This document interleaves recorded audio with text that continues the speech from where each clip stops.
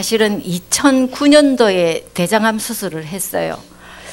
그런데 이제 수술을 하고 난 다음에 그때는 박사님에 대해서 전혀 몰랐고, 어, 단지 이제 저는 제가 원래 제가 생각이 만일에 내가 무슨 어떤 큰 병에 걸렸으면 나는 절대 수술은 안 할 것이다. 이제 그렇게 제가 평소에 그렇게 생각을 하고 있던 차에 그 대장암을 선고를 받고 나니까 병원에서 수술을 자꾸 하기를 권하는데 제가 무조건 안 한다고 그랬어요, 그때는.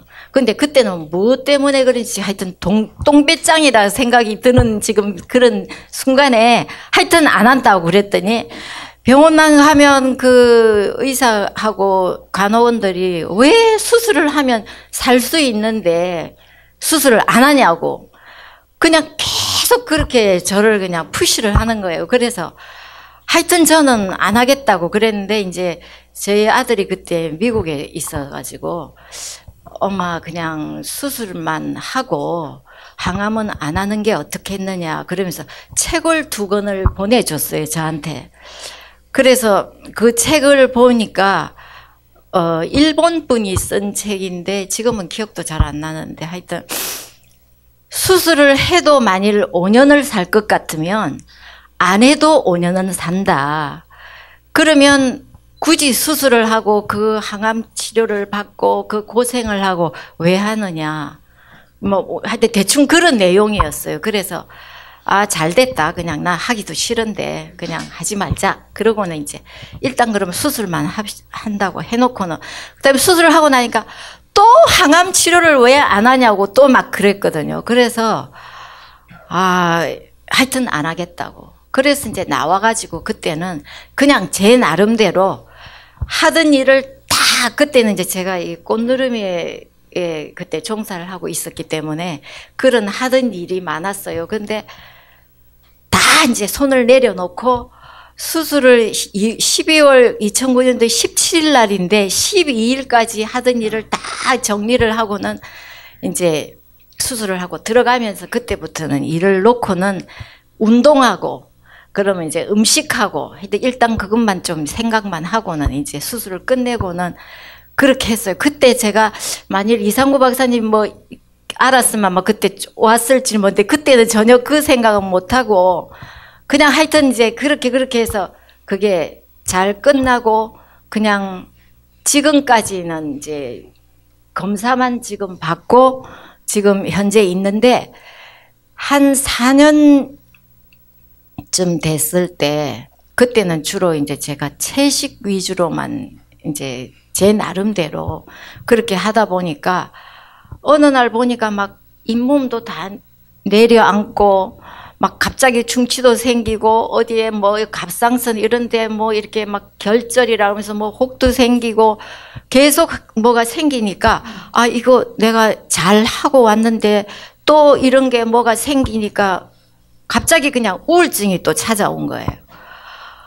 그래서 잠자고 눈 뜨면 잠자고 눈 뜨면 잠자고 이게 한 두세 달을 그냥 계속 그냥 계속이 됐어요.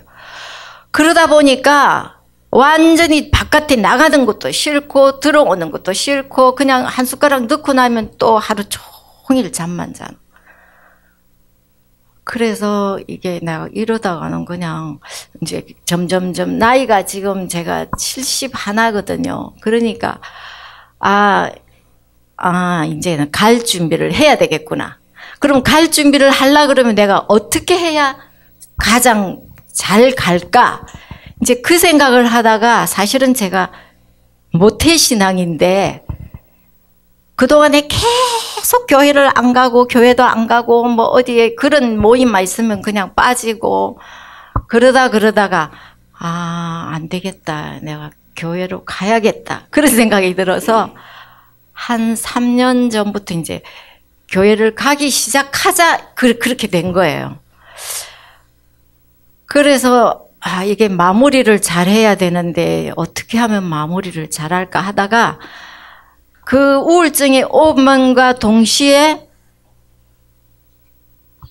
아 그 다음에 이제 어느 날 건강검진을 받았는데 종양 수치가 이렇게 올라가 있는 거예요. 그러니까 순간적으로 내가 아 이건 재발이구나 그렇게 생각을 하고는 제가 이제 받던 그 병원으로 그냥 쫓아가가지고 검사를 또 다 했어요. 그러자 저 이상구 박사님이 동영상을 내가 이제 어차피 나는 또 재발이 되면 수술을 안 할 것이니까 이 뉴스타트라는 게 옛날에 내가 어디서 본 것 같은데 한번 하고 이렇게 막 찾아보니까 그 동영상을 봤어요. 그래서 그때부터 그러니까 올해 6월 부터 하여튼 그 동영상을 집에서 매일 보면서 그 다음에는 이제 약간 바뀐 게 운동을 하러 갈 때 전에는 아 내가 한 시간 해야지 그럼 그냥 가서 한 시간 하고 쫓아 집에 들어오고 그랬던 거를 이제는 한 시간을 가면 가는 동안에 제가 그 동영상을 보면서 좋으신 하나님, 그 다음에 어, 하나님은 사랑이에요. 그 다음에 뉴스타트 노래, 그 다음에 걱정을 우리 매일 하는 노래 있잖아요. 그거를 한 시간 동안 가는 내내 부르고 갔어요, 그냥.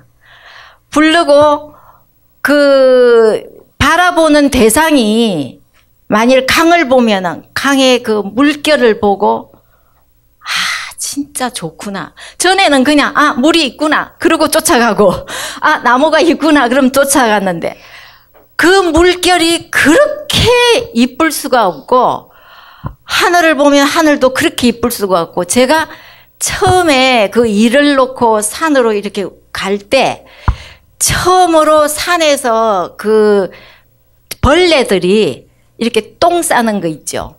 그게 나무 이파리에 이렇게 이렇게 떨어지면 톡톡톡톡톡톡 소리가 나요. 근데 그 소리가 그렇게 아름답게 들리는 거예요. 근데 어저께 제가 그러고는 잊어버렸는데 어저께 제가 산에를 올라갔는데 바람이 불어서 이 저기 이파리가 톨톨톨톨 떨어진데 그 소리가 몇 년 만에 제가 그 소리가 들리는 거예요. 아, 그래서 내가, 아, 이게 마음을 이렇게 바꾸면 그 안 들리던 소리도 내 귀에 들리고, 안 나오던 노래도 내가 나오고, 안 보이던 어떤 그 그림도 내가 나와서 마음대로 그리고, 집에서 좋으신 하나님 하면 앞에 아무도 없는데도 제가 이렇게 놓고는 눈을 감고 이렇게 청중이 있는 것처럼 조신 하나님 이러고 지휘를 해요. 그러면 이게 마음이 다 깔아지면서 눈물이 저절로 이렇게 떨어지는 그런 경험을 제가 이 몇 달 사이에 하면서 그래서 이제 이 꽃누르미를 사실은 한 지가 굉장히 오래되는데 제가 이걸 나눔을 하기 위해서 이제 여러 군데 조금씩 나눔을 그 아프고 난 뒤에부터 그걸 이제 어 일을 그만두니까 그걸 시작을 하면서 갑자기 아 내가 동영상을 이렇게 보는데 거기도 환우들이 많이 계실 텐데 이것도 좀 나눔을 하면 어떨까 생각이 들어서 그냥 아침에 동서울에 그 버스를 타고는 휙 하고 왔는데 그날 마침 여기가 다 끝나고 돌아가신 그거라. 그래서 제가 그걸 모르고 왔다가 그냥 덕분에 여기 전부 다 구경하면서 다시 저녁에 이제 버스를 타고 갔거든요.